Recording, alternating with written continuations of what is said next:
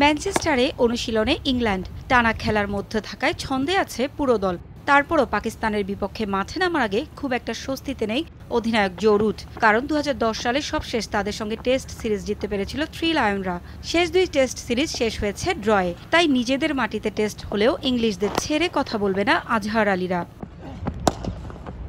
এ যাত্রায় আত্মবিশ্বাস যোগাচ্ছে ওয়েস্ট ইন্ডিজের বিপক্ষে টেস্ট ও আয়ারল্যান্ডের বিপক্ষে ওয়ানডে সিরিজ জয়। দুর্দান্ত ফর্মে আছেন টেস্ট র্যাঙ্কিংয়ের এক নম্বর অলরাউন্ডার বেন স্টোকস। ক্যারিবীয়দের বিপক্ষে শেষ টেস্টে ইঞ্জুরির কারণে বল হাতে না নামতে পারলেও এখন পুরোপুরি ফিট হয়ে উঠেছেন ইংলিশদের বিশ্বকাপ জয়ের নায়ক। এ ম্যাচেও দলের তুরুপের তাস তিনি।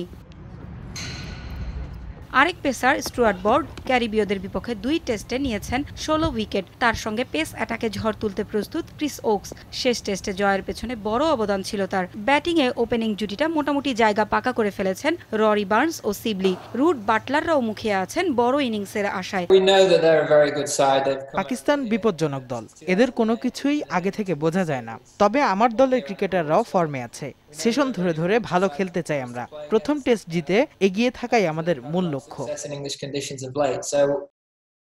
প্রতিপক্ষ পাকিস্তান গেল দেড় মাস ধরে সিরিজ সামনে রেখে ইংল্যান্ডে আছে। কন্ডিশনের সঙ্গে পুরোপুরি মানিয়ে নিয়েছে মিসবার শিষ্যরা। প্রথম টেস্টে দুই স্পিনার রাখার পক্ষে কোচ। শেষবার যখন ইংল্যান্ডের বিপক্ষে সিরিজ খেলেছে পাকিস্তান তখন দুর্দান্ত পারফর্ম করেছিলেন লেগ স্পিনার ইয়াসির শাহ। এবারও দলে আছেন তিনি। পেস অ্যাটাকে দুটি ছড়াতে প্রস্তুত নাসিম শাহ ও শাহিন শাহ আফ্রিদি। Uh,